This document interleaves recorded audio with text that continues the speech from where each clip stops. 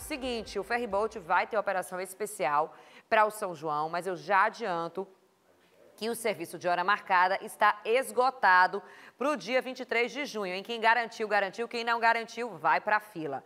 Mais de 134 mil passageiros e quase 20 mil veículos devem fazer a travessia Salvador Bom Despacho durante esse período. Sete embarcações vão estar operando entre as 5 da manhã e as 11h30 da noite, com saídas de hora em hora, isso de segunda a sexta, no sábado e no domingo. O horário de funcionamento é a partir de 6 da manhã até as 11h30 da noite. A operação vai contar com horários extras a depender da demanda, hein? E também da disponibilidade de ferres. Para esse ano, o fluxo esperado de passageiros deve aumentar cerca de 5% se a gente comparar com o mesmo período do ano passado, né? É o pessoal que gosta de curtir o São João lá na ilha, né?